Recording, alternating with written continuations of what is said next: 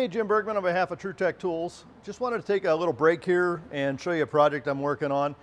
Uh, actually building a little uh, trainer to use for refrigerant retrofit for Bluon. So I've got actually two R22 units sort of side by side here that we're getting set up with the condensing units. And I was getting ready to do the piping and uh, I was talking to Eric and he uh, mentioned that they got, they got in a new uh, RLS refrigerant locking system. And uh, go ahead and give it a shot here. So I grabbed some fittings and stuff and I, I, told Eric I'd do a video on it and all of a sudden I realized, man, I'm almost done with this job already and I didn't even realize uh, how quickly things were going. I'd used one of these back, I want to say probably 10 years ago. Um, it was Ridgid ProPress before they actually had gaskets that were suitable for refrigerant. You know, so this we've seen this, these tools go through sort of a um, through sort of an evolution where you know it went primarily from a plumbing tool, and then we saw it go into to natural gas, and now uh, we're seeing it go into the refrigerant side. And the refrigerant side is actually pretty intriguing to me, and, and especially now that I've used this kit for a little bit, just to understand uh, how it all works. So pan down here for just a minute. I want to show you what, what comes with a kit, because this is, um, it's a, it, it, it is truly a system, and you've, you've got to use everything that, that comes with it, um, because if you don't, your, you know, your chances of having a, a, a, a bad joint are, are probably quite a bit higher. But it's, it's so simple to use that um, honestly, I don't think you could make a mistake if you're using all the, uh, all the stuff that comes in here. So I just want to start with a couple things because they do give you a, a rigid uh, tubing cutter on this. This got a super sharp blade on it and when you're cutting tubing, one of the things you got to watch is that you know that wheel actually digs into the tubing and it can actually push the metal up and you get like a, a ridge here on the top. And that ridge on the top could catch the, the gasket when you slide it in, catch the O-ring and tear the O-ring up. So a super sharp um, blade is going to minimize that amount of uh, the gasket. Now the second thing they include in here is a inside-outside reamer. And this, zoom in here a little bit so you can just see how sharp this thing is. This is not like the ones we had when I was at Stride Tool that were, this thing's actually, when you put your finger in and feel it, you can actually feel it's very sharp. But I found that the trick to using this thing is to just turn it, and I'm holding this in my left hand here, just to turn it in a clockwise direction so you can feel it cut. And when it cuts off, what it's doing is taking off this material on that edge uh, where the tubing cutter would leave that, that little lip on there, and it gives it a nice beveled edge on there. So this is probably the, one of the most important steps is to make sure that you have a good clean edge on there. And then it's also got an inside on there um, that you can use. I always cut, back, cut again. I'm not a real big on rolling it back and forth like this because I think it, it tears up that edge. And then I'm, I'm actually still more partial to this um, little burr remover to, to clean the copper off on the inside, but outside you can't get a better job than, than this tool uh, does for that. The next step when you're doing one of these joints is to make sure that you're cleaning the outside of the copper tube. So you want to take and clean the outside off so that you got a good clean surface. They give you a Scotch-Brite pad for that in there. And that's going to get all the imperfections like any tape you have or any small scratches on there that could, um, that, that could uh, affect the sealing. And then this, this piece is pretty slick. This is actually a gauge. So what you do with a gauge here is you take the marker and all I did here is just take, put it on the edge of the gauge and just spin the copper tube and then we'll spin it around same way and mark the, the depth. Now what this is for is for minimum insertion. So, and th these fittings are actually pretty interesting. These are soft drawn copper, and so you got to be careful with these things. And you can tell these are refrigeration uh, by this uh, lip on the edge here that's sort of beveled up like a flare fitting. And that's just so these slide in easily and so they're also visually identifiable. Now, as soon as you go past this, you'll feel it touch, kiss the O-ring, and then just give it a gentle twist and slide it in.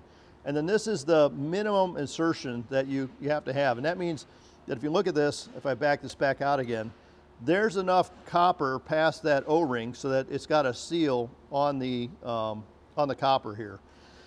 So when you slide it in, it's going to go in and, and, up to this point. Now what's cool with this fitting is on the jaws, if you look at these, let me get the three quarter jaws here.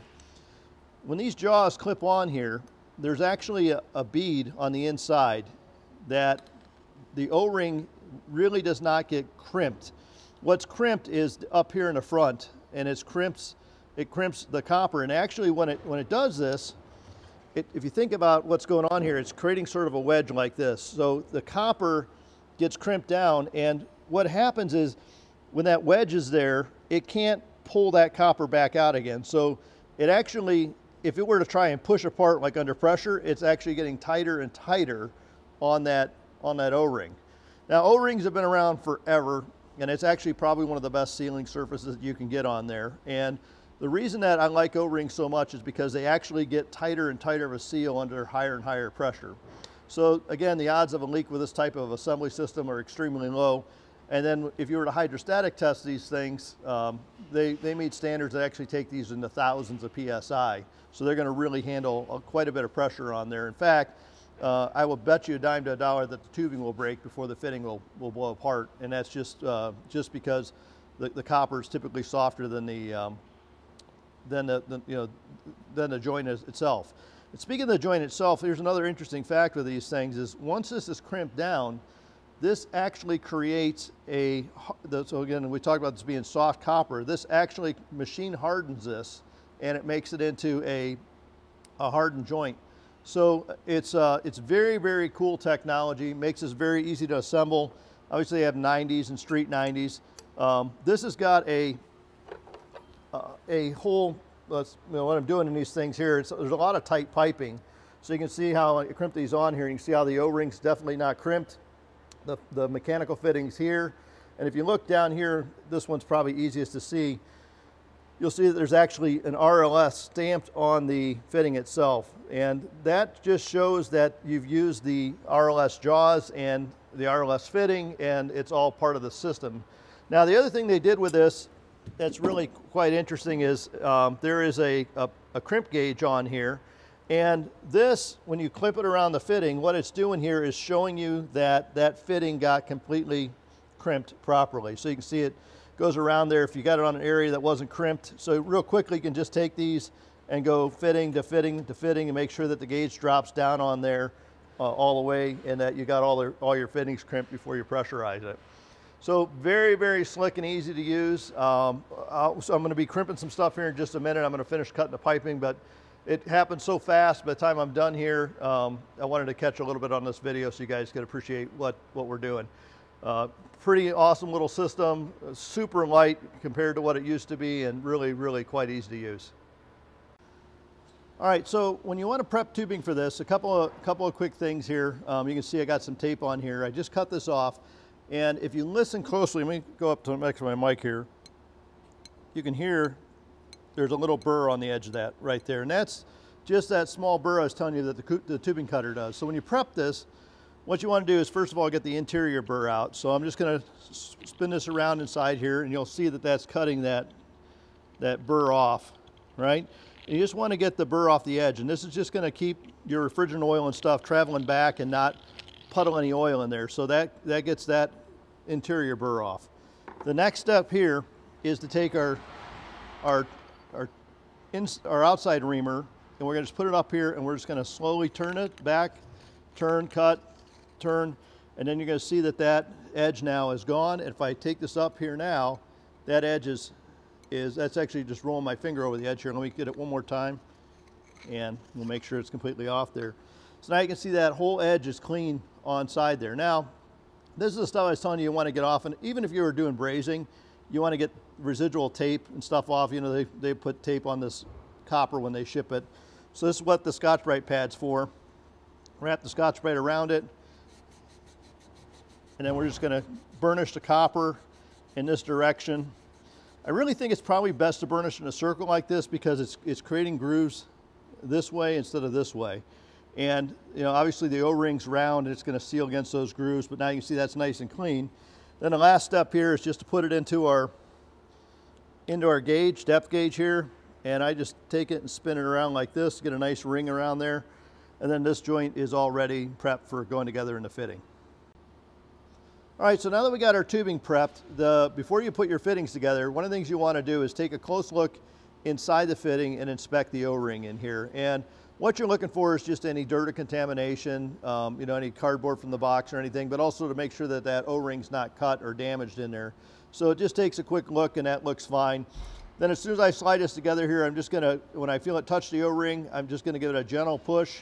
It should slide right in. If, it, if it's hard to slide in, you can put a small amount of refrigerant oil on there to help it uh, slip in. But that's all you need to do, and then you know we're ready to fit this up. All right, so we're gonna go ahead and do a couple crimps on here. A couple things with the tool. There's a little index here. You, you, you pull it, pop it out. You may want to take the battery off while you're putting the head on here just so you don't bump the trigger like I just did. And then we'll drop the head in and then all you do is just put it in, twist, and it'll lock the head in there. Take it out, it's just, got, again, a little twist. Let me figure out which way. There it is, and it pops right back out again and locks in. So it's very easy to get the head in and out. There is a manual release right here on the back of the tool. So one of the things that you gotta watch is, you know, when you're putting this thing together here, is that, you know, as soon as you clip it around, if you bump the trigger, you're, you're, gonna, you're gonna start getting into where you can't open the jaws up anymore.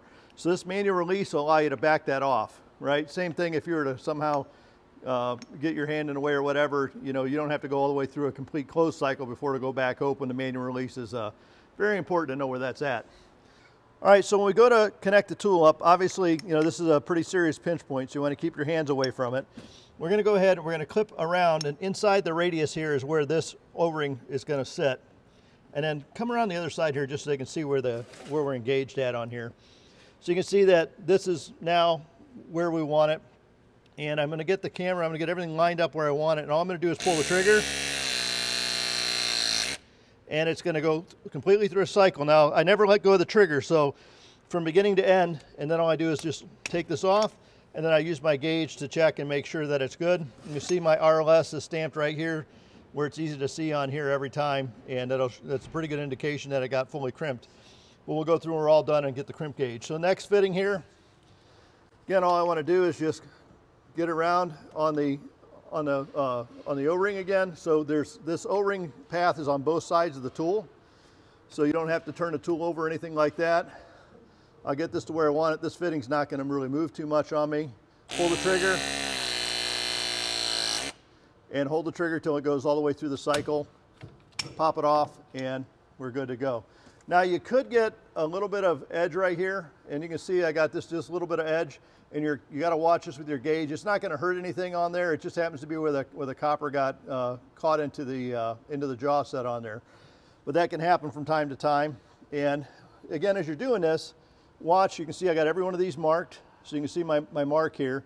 I want to make sure that that mark is not, you know, out here because obviously we don't have enough copper there.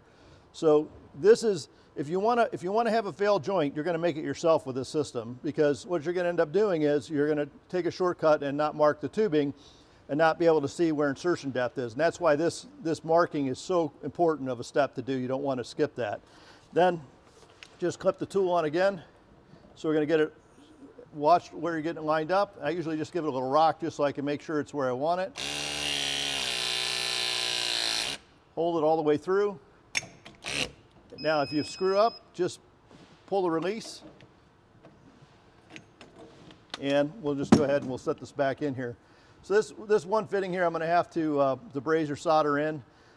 I'll solder this in. You do have, when you're, when you're doing brazing on these things, there, there are prescribed distances. If you're not gonna use a, like a heat block or something on this that you need to be away, it's in the manual, um, so you don't burn the O-ring up in here. But overall, just super simple and easy to use. So we'll go ahead and get the rest of these crimped up and then uh, we'll go from there.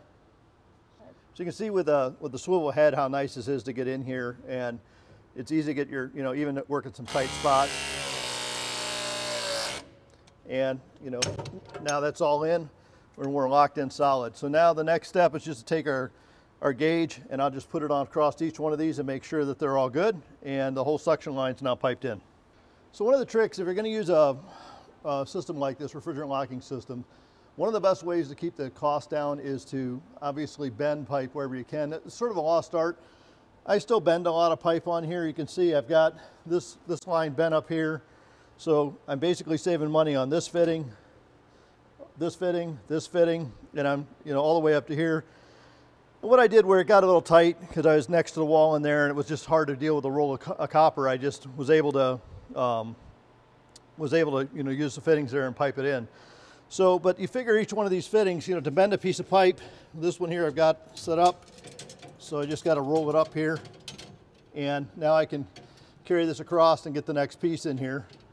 But it doesn't take a lot to, uh, to, to bend copper tubing and to get it where you want it. And then, you know, it, it eliminates, the, eliminates the cost of the fitting.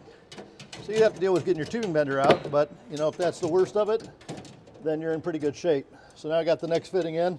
I'll go ahead and roll the, the bender up here and I'll get the next one on the bender. So we got everything pressed in and everything looks good. It would, and really what's interesting with this process is even though the fittings do cost substantially more, we got done in a fraction of the time. And we got done without any hot work permit. We got done without burning anything. We got done without any make, making any smoke and we really got done with a lot less mess. So overall, you know, using a tool like this does have a cost, but you got to remember who's paying for it. At the end of the day, it's your, it's your customer. And if you look at the cost of your labor, it's really you. And so it, uh, using a tool like this really does make you more productive. It makes the job go a lot easier. And overall, I think we've got a really nice finished product. This is Jim on behalf of TruTech Tools. Thanks a lot for watching.